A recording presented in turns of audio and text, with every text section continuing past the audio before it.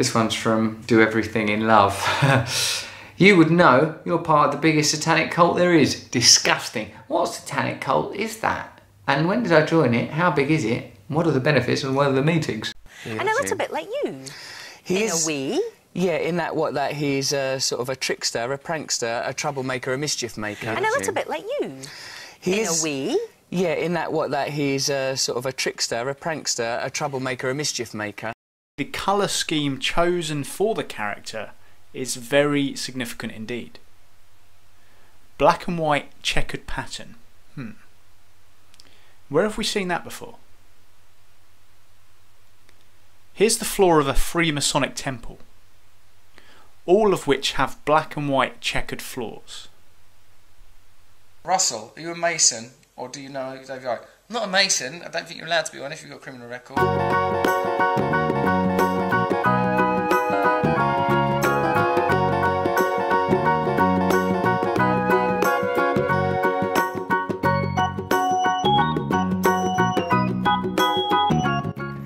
Hello there. Let's talk about spirituality, particularly in the form of these tattoos. I got this tattoo done recently of Jesus Christ, the symbol of the resurrection, the possibility for divine God consciousness to be expressed through mankind.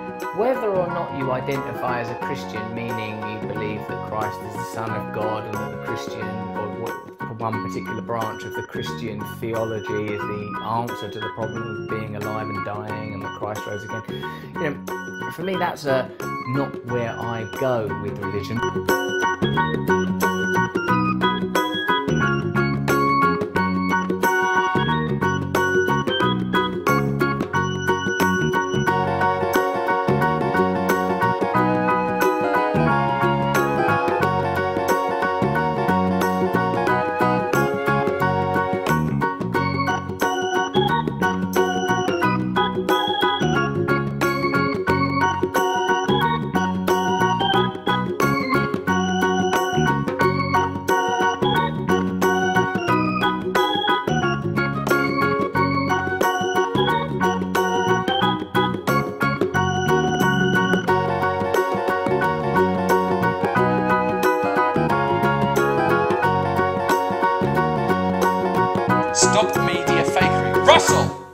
Full of shit.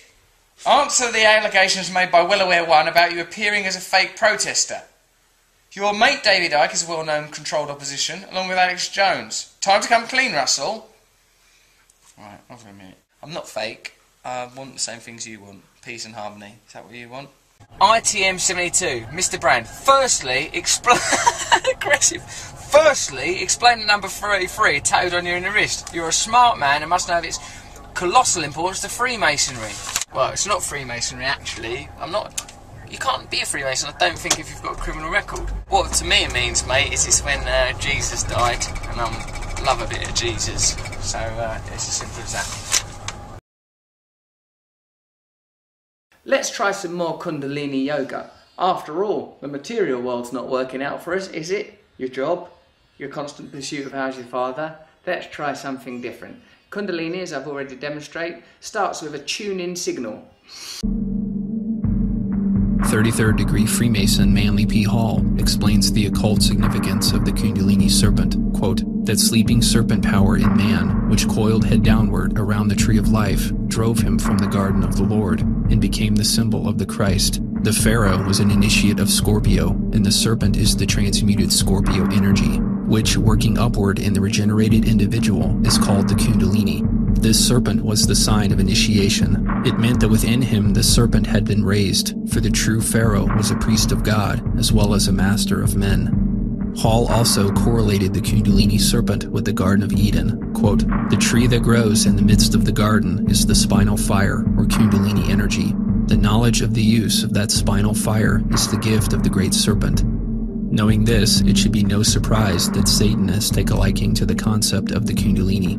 On an openly satanic website, it states, The serpent or snake, which symbolizes Satan, represents the Kundalini at the base of the spine, also the DNA. The serpent represents life. When this force is activated, we are healed and enlightened.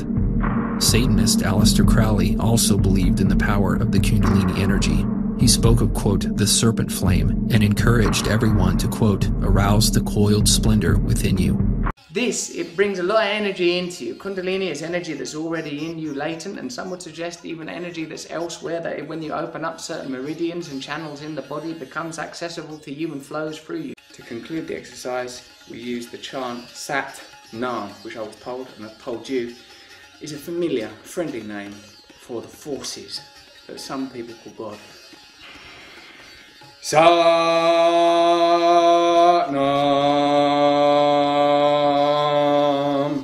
Or a lot of the times I'll use the mantra Sat Nam. Pretty sure means I am. I don't know, we learned it in Kundalini Yoga.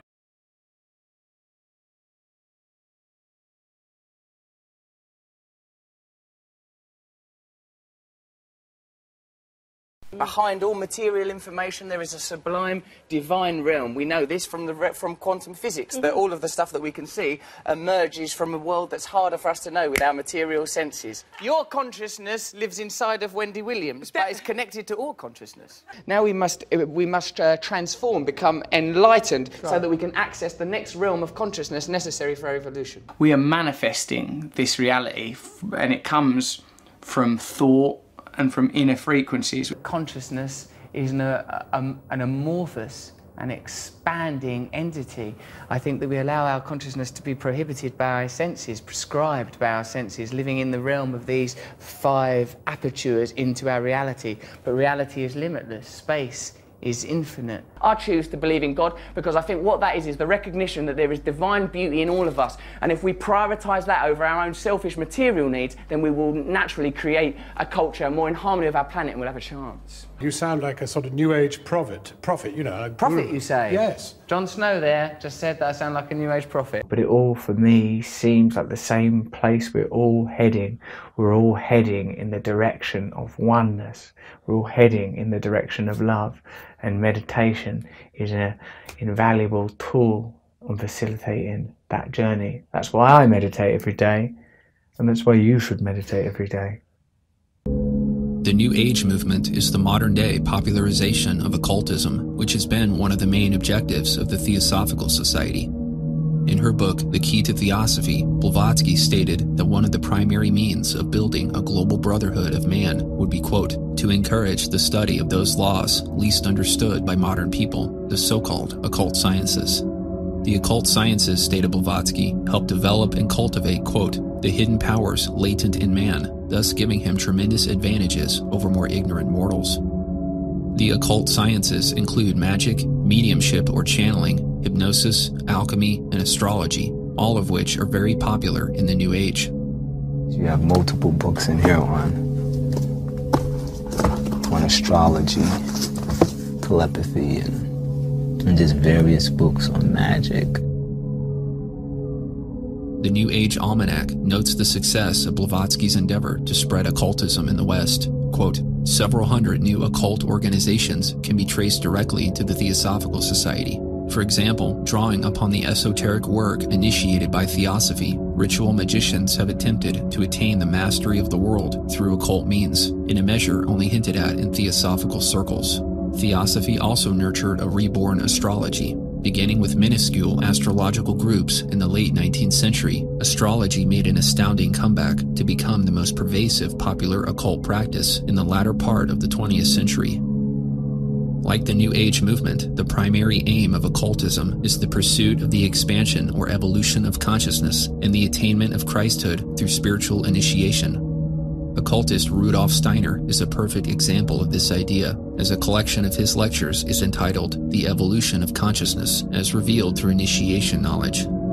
Aleister Crowley, arguably the most notorious occultist and Satanist of all time, is an even more profound example of the occult roots of the New Age. Author Nicholas Campion sums up Crowley's New Age lineage and his influence in the development of New Age thought. Quote, there were two important currents of New Age prophecy in the 20th century West until the 1950s. One was embedded in the theosophical and esoteric tradition promoted by Alice Bailey, Rudolf Steiner, and Carl Jung. The other was magical, promoted by Aleister Crowley, and emphasized paganism and decadence. Crowley's vision of a new global religion, his understanding of all great prophets as manifestations of a single essence, and his desire to restore the West by teaching the East to the West mark him out as an heir to Blavatsky. Crowley's esotericism was by and large unoriginal. However, his most important contribution to New Age thought was to provide a statement of universal rights. Crowley's philosophy was fundamentally New Age. He propounded New Age ideas such as the following quote, Happiness lies within oneself. Every man and every woman is a star, and the infinite unity is our refuge, since if our consciousness be in that unity, we shall care nothing for the friction of its component parts, and our light is the inmost point of illuminated consciousness. He believed that through meditation, quote, the consciousness of the many may be melted to that of the one, leading to the quote, expansion of consciousness to that of the infinite, which, as I previously cited, was exactly how Alice Bailey defined the New Age initiation process. This is a clear sign that occultism, Satanism, and the New Age movement are part of the same spiritual phenomenon. And I love what you said about the evolution of the next consciousness. What's evolving is, is consciousness. Consciousness is the thing that's evolving, and it expands in every way it can. We are also granted the gift of experiencing an expansion within our own consciousness. Through the expansion of, of consciousness. We are moving away from this separation consciousness and moving into unity, oneness consciousness. The solar flares, the, the vibrational frequency is actually awakening all of us, and we're awakening as one because you are connected in consciousness to everybody. We need to come together in mutual acknowledgement that we're all the same consciousness having different experiences. The change consciousness is about oneness, unity of everything. Alice Bailey made it very clear that occultism was the source for her view of the Christ, and she believed that this New Age occult Christ would soon overthrow the Jesus of traditional Christianity. Quote, it can be expected that the Orthodox Christian will at first reject the theories about the Christ which occultism presents. At the same time, this same Orthodox Christian will find it increasingly difficult to induce the intelligent masses of people to accept the impossible deity and the feeble Christ which historical Christianity has endorsed. Occultism presents a Christ who is present and living, who is known to those who follow him, who is a strong and able executive and not a sweet and sentimental sufferer, who has never left us, but who has worked for 2,000 years through the medium of his disciples, the inspired men and women of all faiths, all religions, and all religious persuasions, who sees divinity in them all and who comprehends the techniques of the evolutionary development of the human consciousness. These ideas the intelligent public can and will accept then the picture of a Christ demanding a unique position to the exclusion of all other sons of God will fade out in the wonder of the true apostolic succession, in which many sons of God, on different rays, of differing nationalities, and with varying missions, are to be seen historically leading humanity along the path of divine unfoldment and nearer to God, the Source. Occult or esoteric means that which is hidden or secret and refers to knowledge only known to the initiated. Occult teachings are usually associated with the idea of spiritual awakening, which is a very popular idea in the New Age. One becomes awakened when they have learned a hidden truth about the world and themselves, and thus they become initiated into the secrets or mysteries of the ages. We're moving into this new age of Aquarius, and it's going to be an awakening for everyone again. It's sort of an awakening that happens in consciousness. And I think that there is a more of an awakening. This great awakening is just about to take place. It is the awakening of the Christ principle in humanity. You're From, expanding. I was I was expanding in more of a positive awakening. direction. Yeah. yeah. There has been an awakening.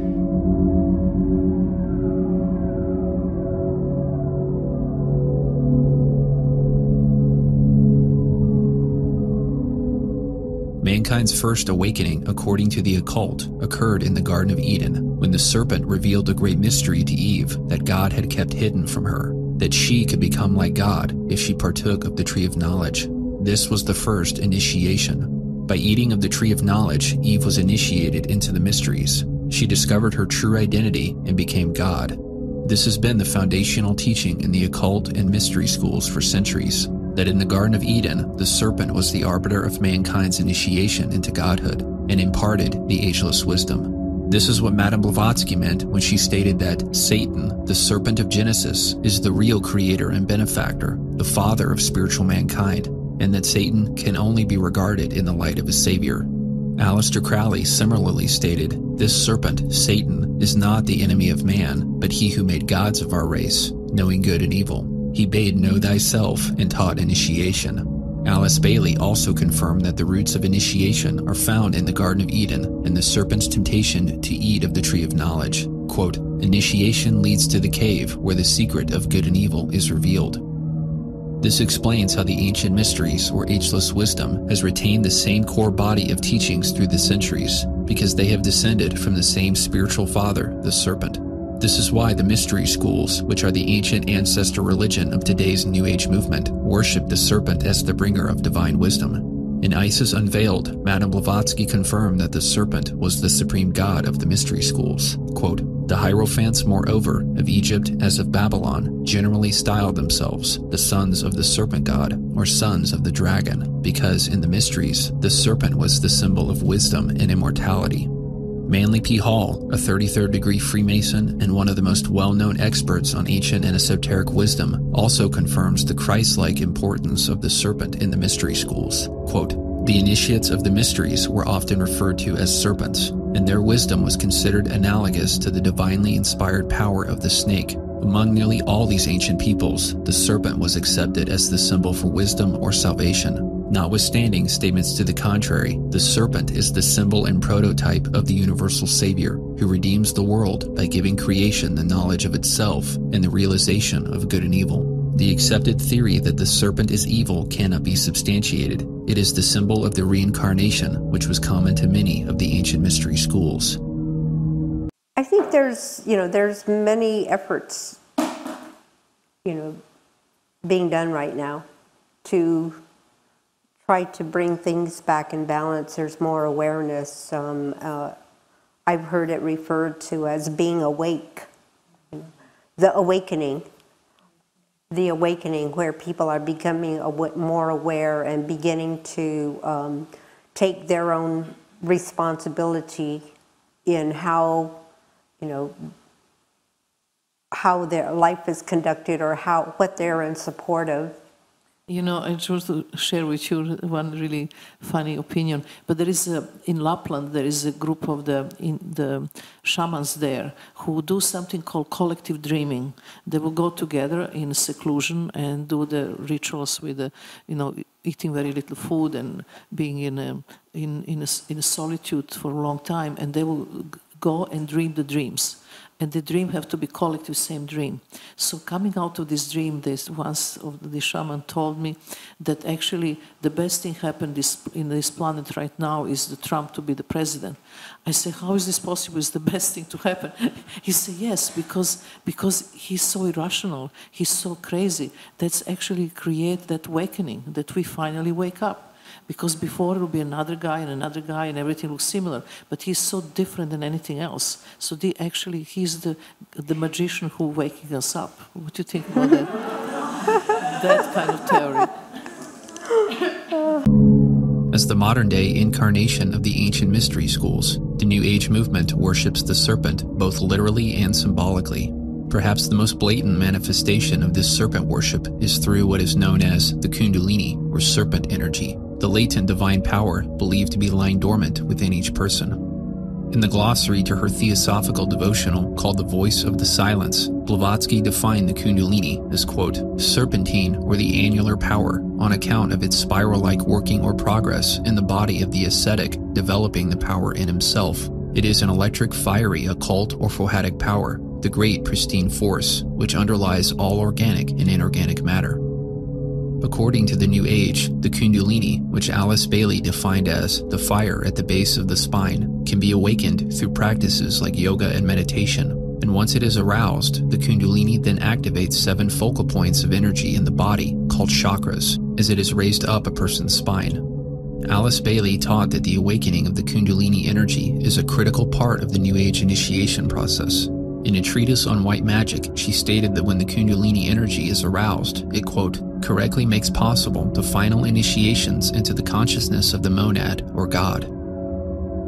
The Kundalini concept is essentially an occult metaphorical twist on the Garden of Eden account, with the notion of the serpent bringing the gift of God consciousness or divine wisdom. Professor John White, who has extensively researched the occult sciences of meditation and higher human development, comments on the Kundalini and its correlation with achieving godhood.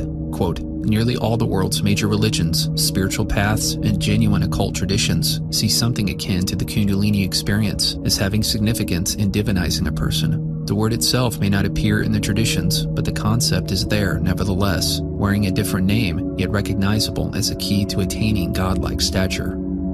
The Kundalini and seven chakra centers have been a central part of the mystery school teachings since ancient times.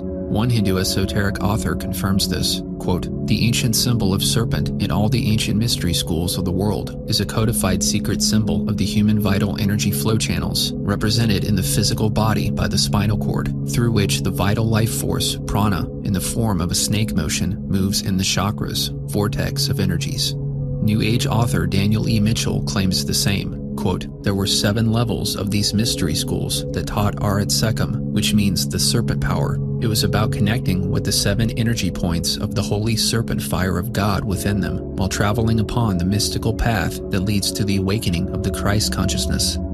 Describing what occurs when the Kundalini is awakened, New Age author Cyndi Dale states, Our full physical and spiritual selves begin to merge. In Samadhi, all aspects of our true being, now fully activated by the Kundalini, can achieve a state of union with the divine and empower us to become our real selves.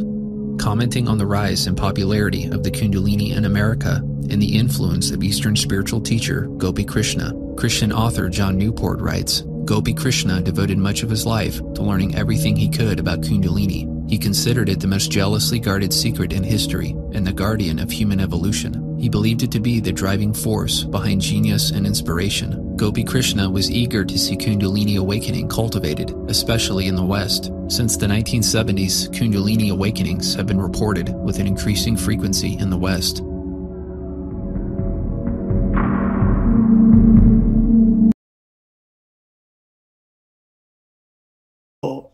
I, believe there's a connection between the coronavirus and the, this movement that just started now for racial equality and so on.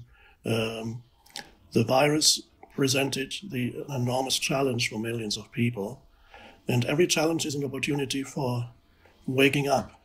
And in the face of challenge, whether it's of a personal kind or a collective kind, uh, you cannot you cannot stay the way you are. You can go either one way or the other. So, so one way is a challenge makes you more unconscious. It pushes you into in d- deeper into ego egoic reactivity and negativity and um, um, conflict with other human beings becomes magnified so one way, one effect that a challenge can have on a human being is it can make him or her more unconscious, more reactive, more deeply entrenched in the egoic patterns. Uh, the other thing, on the other hand, a challenge can have the effect of forcing you to become more conscious. Uh, and uh, I have experienced it in my own life when faced with the challenges of life before I went through a kind of shift in consciousness when I was 29. Now, look, you've written a children's book, you have. Um, Russell Brand's Trickster Tales, The Pied Piper of Hamelin. It's your take on this uh, traditional tale. Yeah, that's right. Why did you do this for kids? Because I think that fairy stories Mhm. contain in them really important information that is difficult to get in any other way. Stories about community and duty and love that perhaps we don't receive in any other format. Plus, it was an opportunity to create the character of a Pied Piper who, uh, like Chris Riddell, the illustrator, is- Yeah. he's a sort of himself a magical bloke. He's created this this character here. For me, Right. is irresistible and sort of terrifying. He's a bit like the Droogs from Clockwork Orange. So Russell's Pied Piper character, a children's book character, is, quote, a bit like the Droogs from Stanley Kubrick's film A Clockwork Orange. and a little bit like you, He in is- a way. Yeah, in that what that he's a, sort of a trickster, a prankster, a troublemaker, a mischief maker. Interesting description Russell gives here to confirm that the character is based on him. Let's listen to that again. and a little bit like you, He in is- a way. Yeah, in that what that he's a, sort of a trickster, a prankster, a troublemaker, a mischief maker. He's a trickster, a prankster, a troublemaker, a mischief maker. Hmm. I believe in God. I believe God to be the limitless consciousness, of which my own tiny little consciousness is but a part that beneath my identity as an individual, my biochemical reactions, my memories, my impulses, is a witness, and that this limitless witness is probably no different to what you feel. I believe, I believe that as they go deeper, deeper into the microscopic world, they will discover hold on a minute, everything is one, it's all interconnected, it's all just one thing, vibrating at different speeds, or some sort of weird holographic revelation that we're bursting through a membrane into this frequency, that the unmanifest is all about us, waiting to be born. Now, how does that relate to sort of the principles of religion or spirituality, such as kindness? Well, if we're all one, we might as well be nice to each other. If we're all one, there's no sense competing with one another. But godlessness, the belief that there, or you know, nihilism, let's call it, for like it's a less sort of um, divisive or troubling term. Godlessness leads to not a. It doesn't feel right, does it? A world of competition, of crushing, of artifice, of superficiality. The options that start to occur when you believe you are an individual in limitless space that began with a bang that was preceded by nothing, that's flooding, sprawling into a limitless nowhere.